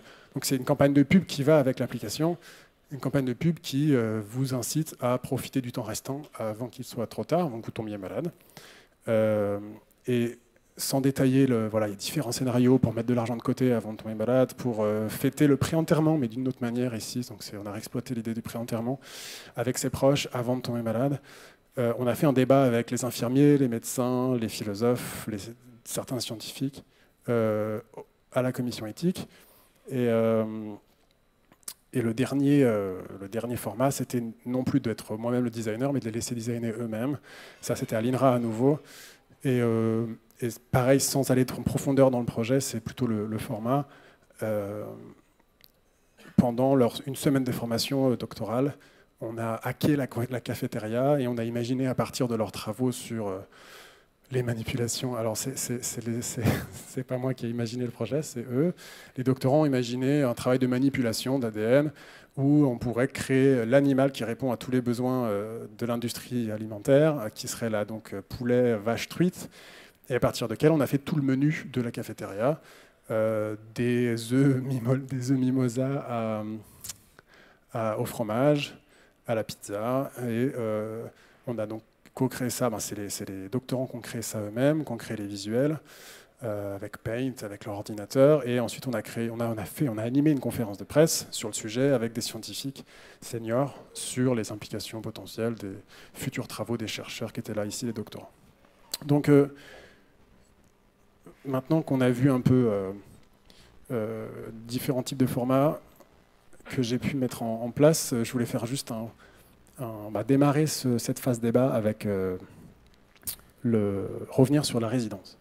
sur la résidence et faire un disclaimer, bah, faire une, annonce avant de démarrer. Le sujet duquel on va traiter maintenant, euh, n'est pas adapté au public qu'on a ici. Il faut vraiment imaginer que là, on, on fait, on l'inverse de ce que je propose, c'est-à-dire qu'on on décontextualise complètement un projet. Ce projet a été imaginé normalement pour être euh, le démarrage, pour être le, le starter d'un débat euh, à la commission éthique avec des personnes atteintes de maladies neurodégénératives, six types de maladies Alzheimer, Parkinson, Huntington, sclérose en plaques, sclérose latérale amyotrophique et ataxie de Friedrich, qui ont pour cinq d'entre elles la conséquence de, de vous empêcher d'avoir un contrôle sur euh, votre, neurone, votre neurone moteur, c'est-à-dire votre capacité à bouger, soit parce que ça la restreint, vous ne pouvez plus bouger, soit, parce que ça vous déclenche des mouvements que vous ne pouvez pas contrôler. Et puis Alzheimer, qui est en plus parce que c'est le même neurone, mais c'est une, atteinte qui est cognitive et qui n'est pas physique, très peu physique. Euh, donc le débat était euh, conduit avec des personnes atteintes par ces maladies, ou des scientifiques euh, qui travaillent là-dessus, ou des philosophes qui travaillent là-dessus, ou des proches de patients. Donc là, ce n'est pas le cas, donc euh, je voulais quand même préciser qu'on est hors, hors contexte. Mais euh, il aurait fallu, pour qu'on ait un projet, on va dire, pertinent dans ce contexte, par exemple, faire un travail de design fiction sur le futur des industries culturelles et de la gaieté lyrique. Ce qui est peut-être au programme d'ailleurs, si on fait le workshop, si ça intéresse des gens. Et maintenant que j'ai précisé que voilà, on n'est pas le public, mais essayez de vous mettre dans, dans, dans, la peau du public potentiel, ou peut-être que vous êtes déjà d'une personne qui a euh, dans ses proches euh, euh, une personne qui pourrait être le, public cible. maintenant que j'ai décrit cette image-là, c'est pour rappeler que tout d'un coup son nom m'échappe. Quelqu'un veut bien me redonner son nom? Stephen Hawking, merci beaucoup. Son nom m'échappe toujours. Hein, Pourtant, ça fait un paquet de fois que je le présente. Stephen Hawking, il a une mutation très spécifique d'une de, ces maladies qui normalement a une durée de vie. on, vous annonce une durée de, une, une, espérance de vie de deux ans. Et lui, il a une mutation spécifique qui fait qu'il est encore là. Mais euh, donc dans, la, dans, dans le, la sclérose latérale amyotrophique, normalement, on a une espérance de vie de deux ans. dans ce programme, on a des personnes à qui on annonce systématiquement une espérance de vie. Vous en avez pour 40 ans avant la déclaration des symptômes. Vous en avez pour euh, tant de temps. Et d'ailleurs, on connaît l'évolution logique, euh, en tout cas le schéma, le modèle d'évolution. Vous allez d'abord avoir tel symptôme, puis ensuite cela. Et ça, c'était mon, moi mon brief de départ. Et, euh, et mon envie, c'était de démarrer une discussion. Et on va donc essayer d'avoir ce, ce, débat ensemble sur euh, est-ce que cet objet vous intéresse. J'ai voulu proposer un objet qui revisite ce que serait que le calendrier. Qu'est-ce que c'est que le calendrier ou l'agenda pour quelqu'un qui qui justement peut avoir une, relation au temps tellement différente entre deux ans d'espérance de vie et 40 ans. Et donc je propose de revisiter l'éphéméride. Éphéméride, qui est donc ce calendrier où vous avez les dates de tous les jours et vous arrachez ces papiers peu à peu jusqu'au 365e. Et, euh, et, normalement, vous avez une petite citation sur chacune de ces feuilles. Ici, pour symboliser le temps qui passe, c'est non plus euh, la date, qui est finalement une, la date qui est normative pour les personnes qui n'ont pas cette perception du temps, mais c'est un changement de couleur. Donc on peut consommer ce carnet euh, euh, trois par an ou un sur toute une vie si on le souhaite, euh, ou un par jour parce qu'on on a envie de bouffer la vie et chaque seconde pour nous compte. Sur chaque page est inscrit aujourd'hui je vais comme une invitation à, finalement lutter contre l'adversité de la maladie. Et c'est à ça que ressemble le carnet. Euh, comme je disais, on peut le, consommer à la vitesse que l'on souhaite. Et puis, il y a euh, sur le côté, euh, on voit un petit, un élément pour ranger un, stylo et s'en servir. Donc, faisons une pause ici. Et qu'est-ce que ça vous évoque? Est-ce que quelqu'un pense que ça serait par exemple pourquoi pas un cadeau de Noël à un de ses proches qui, serait en fait touché par un tel objet, ça lui ferait plaisir les couleurs. Pour le moment, j'explique la moitié du projet et après, j'en donne un peu plus. Euh, mais pour le moment, je, voilà, je m'arrête là dans l'explication. Euh, mais je peux continuer à montrer des images, quoi, mais je, je veux bien qu'on ait une première prise de parole tous ensemble, si quelqu'un est touché particulièrement par ce projet. Ou a juste quelque chose à dire.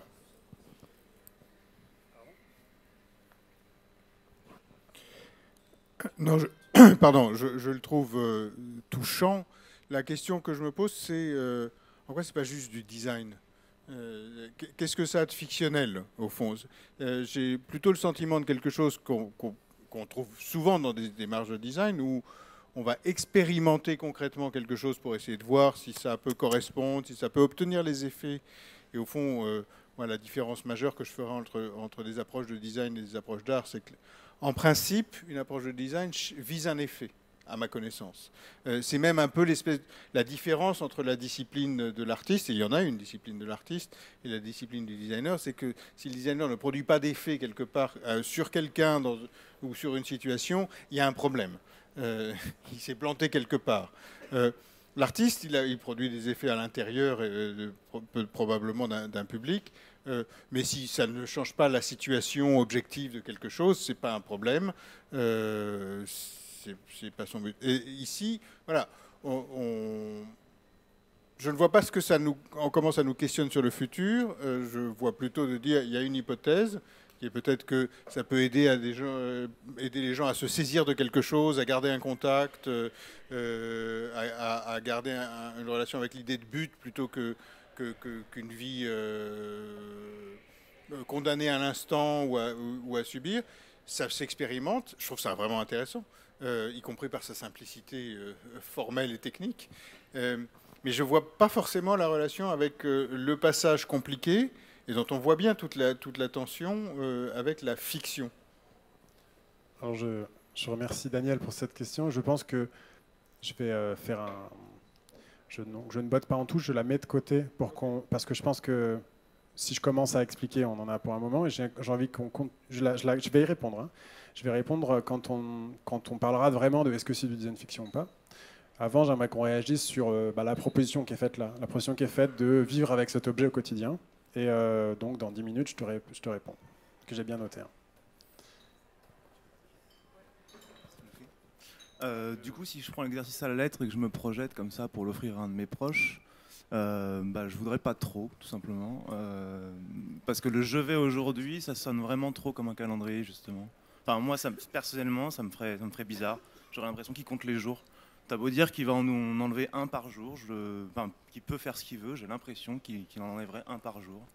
Et le je vais aussi, la formulation me, perturbe un peu. c'est ma réaction euh, toute simple.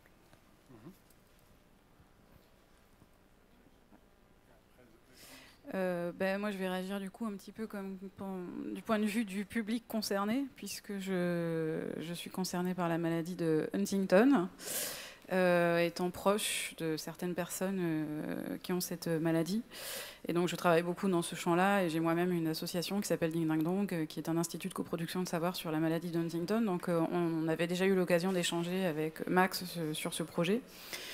Euh, euh, je reviendrai plus tard peut-être sur la question, parce que je ne suis pas tout à fait d'accord avec vous sur la question de l'art, et, on parle aussi euh, dans l'art de narration spéculative, et donc des effets de l'art. Donc moi je crois beaucoup aux effets de l'art. mais là, pour revenir sur la proposition, sans parler de tout, puisque tu n'as pas encore présenté tout le projet, mais Effectivement, moi j'ai été un petit peu perplexe, c'est-à-dire je me suis dit comment, prendre ça quand on est touché par une maladie et qu'on sait que notre temps est compté, mais on ne sait pas de combien il est compté. Et quelque part, euh, peut-être parce que je suis de nature optimiste, mais ce carnet permettait aussi de... Il m'a un peu dérangé dans, un, au premier, dans une première approche, et puis dans un second temps, je me suis dit, mais en même temps, il nous force peut-être justement à réouvrir les possibles du temps euh, et à, se dire, parce qu'on pourrait se dire, voilà, en plus les, couleurs sont, de plus en plus foncées, plus on, descend, plus elles sont plus foncées, donc on pourrait se dire, plus on avance dans le temps vers, euh, vers la mort, ou vers, euh, mais ça peut très bien se concevoir à l'échelle de la vie, du coup, hein, parce que en fait, la vie est neurodégénérative, on l'oublie un petit peu, mais et du coup, je me suis dit finalement, ça permet, ça peut permettre, selon comment on utilise ce carnet, de, réouvrir aussi des, possibles euh, par rapport à la manière dont on veut gérer le temps et, pas forcément de, enfin, de le dédéterminer quelque part. c'est. Euh,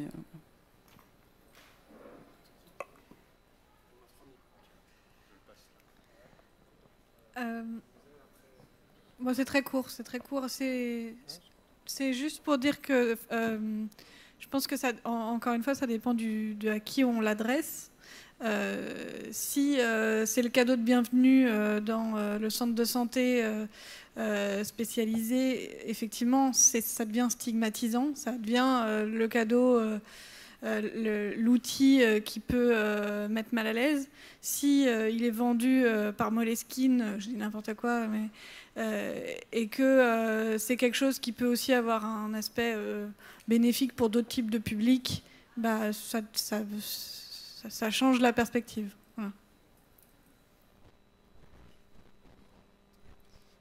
Je ne sais pas combien on est ici à être des survivants mais euh, quand on est un survivant, en fait, ce truc, c'est exactement la même chose qu'un agenda. C'est-à-dire qu'on a conscience d'avoir euh, soit déjà dépassé son terme, soit euh, d'avoir une vie qui va s'arrêter à un moment ou à un autre. Et c'est super d'être là, mais voilà, on ne sait pas quand. Et du coup, j'ai du mal à, à voir la différence avec bah, les bullets de journaux, tous ces outils un peu d'organisation et de utiliser pour se, projeter dans le futur, pour organiser sa vie, pour mettre, euh, voilà, pour se saisir du temps. J'ai l'impression que c'est exactement la même chose. Alors, je, suis curieuse d'entendre euh, voilà, des gens pour qui ça va apporter quelque chose de plus que ces outils-là. Alors, tu, parlais juste à l'instant du moment où tu étais en fin de vie. Et il euh, y, a un truc qui me dérange dans, ce, dans ces post-it, c'est qu'on ne peut plus écrire à la fin de notre vie parce qu'on est sur du noir, du feutre noir. Il faudrait proposer un deuxième feutre.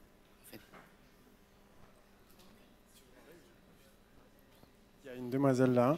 Après, y a, tu, tu, vas aussi dire un commentaire. Et comme on me dit que ça va hyper vite et qu'il reste 5 minutes, je, on va trouver une manière de vous laisser parler également, mais de montrer une dernière chose je montrerai, puis après, je redonnerai le micro. Euh, très rapidement, en fait, moi, la question, elle est liée à ce dont vous avez parlé tout à l'heure de co-conception avec les, utilisateurs ou avec les patients, en l'occurrence. Euh, de savoir, parce que là, en l'occurrence, le, le, projet qui est proposé est extrêmement simple, euh, ce qui est ni une bonne ni une mauvaise chose, ça dépend extrêmement de ce qu'on veut en faire, mais là, c'est qu'est-ce que les gens vont y mettre dedans? Est-ce que c'est prévu avant ou pas? Quand ça a été conçu, est-ce qu'ils ont été inclus dans, la décision? En fait, pour moi, ce projet, il a un énorme intérêt ou il a moins d'intérêt en fonction de ce que les gens vont vouloir mettre dedans, en l'occurrence. C'est ça qui m'intéresse, en fait. Vous avez dit que vous allez parler de la suite du projet après, donc euh, c'est vraiment cet aspect-là qui pourrait être intéressant pour moi. Juste pour rebondir sur ce que je disais, la, personne qui est Paul, si je dis pas de bêtises, euh, effectivement, la couleur, mais aussi le support papier, plutôt que peut-être un support virtuel, questionne la question du, enfin, questionne le problème de, des possibles. C'est-à-dire qu'au bout, de la 500e euh, euh, feuille de papier, il n'y a plus de possibles. Et justement, est-ce que tu parlais de possibles tout à l'heure, que le, design fiction ouvre les possibles? Est-ce que là, on ne ferme pas les possibles par le support papier, qui est un support matériel limité, alors que peut-être le, numérique euh, serait plutôt illimité? Alors, c'est parfait. Ça me permet d'enchaîner sur le. Désolé, on va faire ça en accéléré. Euh, sur la, suite normalement de présentation du projet. Dans la, normalement, cette étape-là du débat, je montre cette chose-là. Donc on va faire ça, on va, faire, on va le faire un peu vite, malheureusement.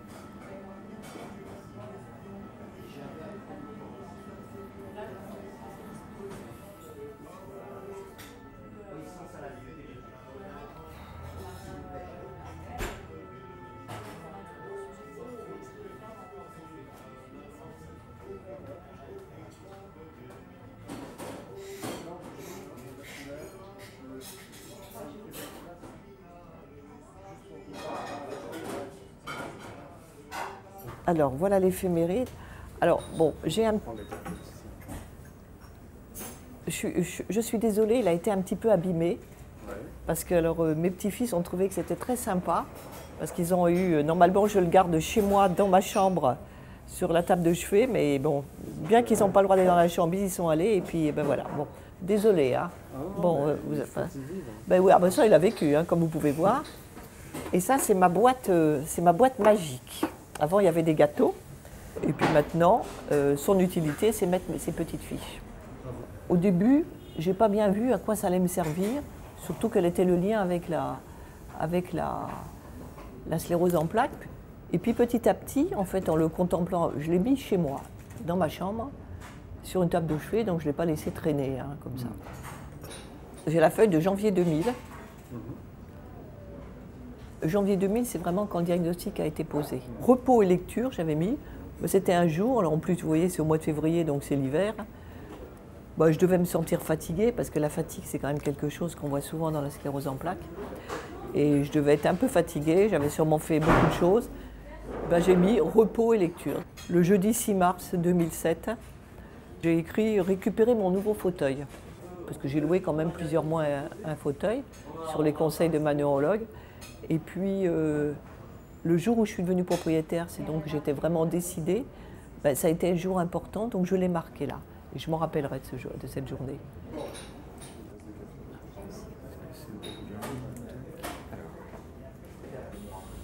Je vois cette fiche où j'ai écrit moi-même, qui, me, qui franchement me, fait un peu de peine.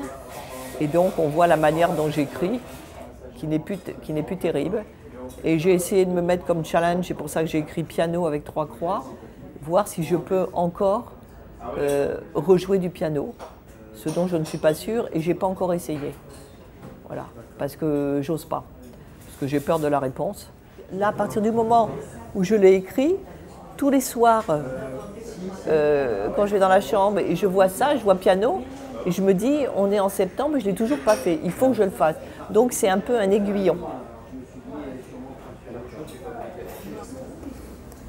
Au fur et à mesure que la maladie, puisque ces maladies neurodégénératives, par définition, c'est une chronicité et une évolution euh, qui ne va pas dans le bon sens, mais plutôt en déclinant, qu'est-ce que ça apporte? Est-ce que c'est vraiment utile? Euh, J'ai pas la réponse, mais euh, voilà, j'ai que des questions.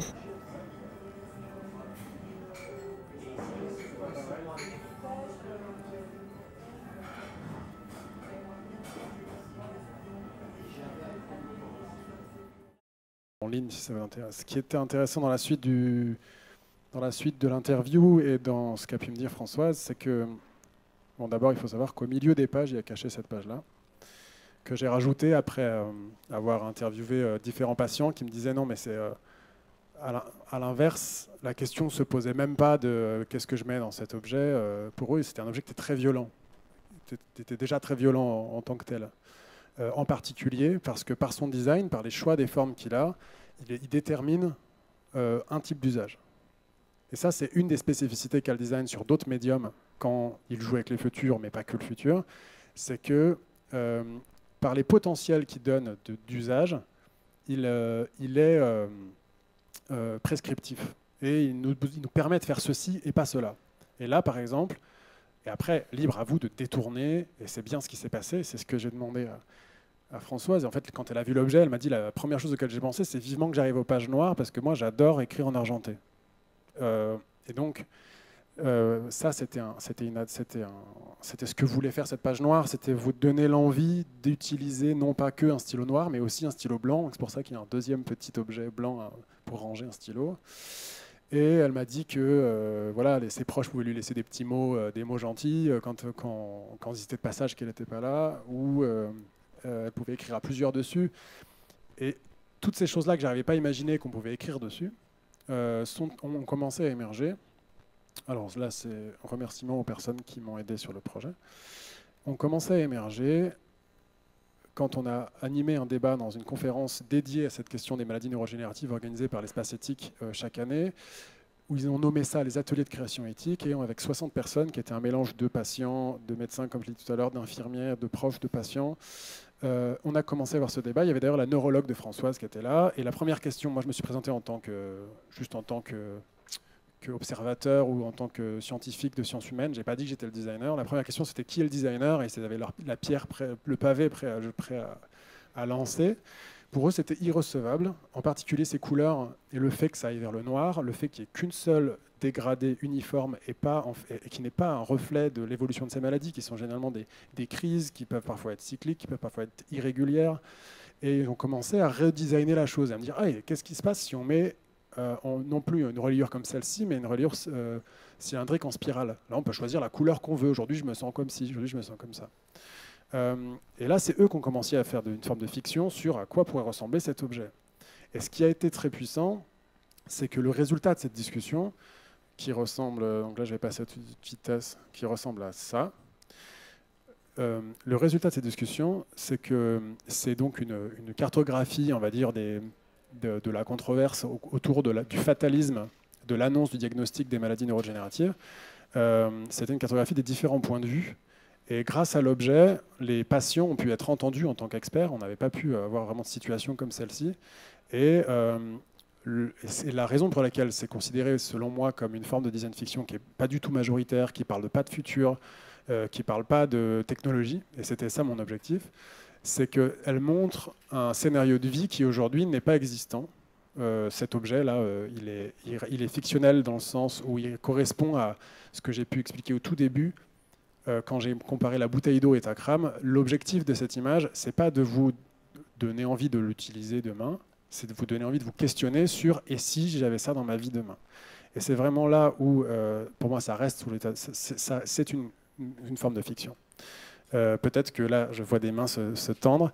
Je vais vous laisser le dire. Je voulais dire une dernière chose, c'était que la raison pour laquelle, pour nous, ça ne nous fait pas un effet très provoquant, très dérangeant, c'est que la provocation, le dérangement ici, il a été façonné pour correspondre exactement à ce type de patient, mais avant que ce soit ça, il faut savoir que l'éphéméride, c'était ça. Ça, ça avait été validé par des gens qui ne sont pas malades. Euh, et qui avait dit ah on comprend totalement euh, le principe de ces maladies. Hein. Alors là, en sachant que l'indication là, elle est censée changer avec le temps et c'est censé suivre le modèle d'évolution de la maladie. Et là, on m'avait dit, ah, moi je comprends totalement, ah oui, c'est effectivement, c'est choquant, euh, ça vulgarise très bien cette maladie.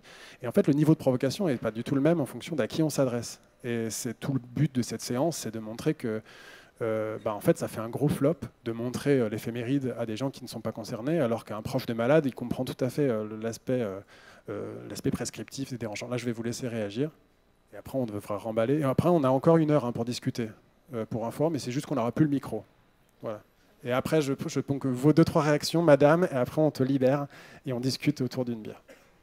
Bah, juste pour, euh, pour, préciser, ce qu'il faut savoir effectivement dans le cadre de, ces maladies-là, elles sont annoncées en général de manière assez brutale par, par les médecins et avec surtout aucune proposition, parce que pour la plupart de ces maladies, il n'y a pas de traitement. Euh, pas toutes, mais quand même pour beaucoup, et, ou des traitements qui, peuvent ralentir, mais pas de traitement curatif. Il faut savoir que là, moi, ce que, voilà, quand, quand je dis que ça ouvre les possibles, c'est que sur le coup, ça peut paraître un peu violent, mais de toute façon, cette annonce est violente. Mais en même temps, elle fait une proposition. Elle dit, mais en même temps, écrivez-la votre, euh, votre vie. Et effectivement, le, même si moi, c'était l'aspect couleur qui m'avait un peu choqué au début. Je m'étais dit, merde, plus on y va, plus, plus c'est noir. Et en fait, ça force, et je voyais bien avec cette femme que ça, ça forçait à la créativité. Il faut savoir voilà, que que les médecins n'ont pas de force de proposition et que même une petite proposition comme ça, ça fait une grosse différence en fait quand on se retrouve dans une face à, l'annonce d'un diagnostic euh, pareil. Euh, il peut y avoir d'autres propositions, mais celle-là en est une. Et, pour moi, qui, suis bien au courant de ces choses-là, la moindre petite proposition face à un diagnostic pareil, ça change quand même énormément la donne. Donc, euh, Il marche? Ouais. En fait. Début, ce qui m'a, ce frappé, c'est que je ne me suis pas du tout posé ces questions-là. Je me suis dit, mais en fait, euh, euh, est-ce que c'est un objet qui garantit cette, euh, durée de vie? Parce que finalement, personne, que vous soyez atteint d'une maladie dégénérative ou non, vous n'avez aucune garantie d'être là la semaine prochaine. Donc je me suis demandé si le design fiction, c'était, est-ce que cet objet, à contrario, vous garantit le temps qui est imparti dans le nombre de feuilles puis après, je me suis dit, mais ça peut être aussi un objet que vous donnez aux autres. Pas ceux qui sont malades, mais ceux qui sont à côté. Euh, parce que c'est peut-être ça qui est... Euh, il y a la personne qui est face à sa maladie, mais il y a les autres qui ne vont plus être avec cette personne non plus après. Donc euh, voilà, c'était un certain nombre de questions que je me posais à l'époque où on pense que d'ici, allez, on va dire 30 ans, on aura la possibilité peut-être euh, d'être éternel euh, en, remplaçant les organes tous les sept ans. Euh, bref, voilà. Non, mais tu, as répondu par, la réaction du public. C'est-à-dire, si ton objet avait pour objectif de faire réagir au point où ils allaient se saisir de la conception de l'objet, d'essayer de se projeter, et où ça les mettait dans une autre position pour euh, prendre la main sur des propositions qui leur seront faites par la suite. quelque part, à ce moment-là, bien sûr, ça marche, c'est-à-dire c'est une fiction qui a produit quelque chose de réellement utile, passé par des questionnements, des changements de rôle, etc. du coup, après, bon, est-ce que c'est, euh, est-ce que ça parle de futur, euh, est-ce que ça parle de technologie? Ça, on s'en tape évidemment. Euh, donc voilà.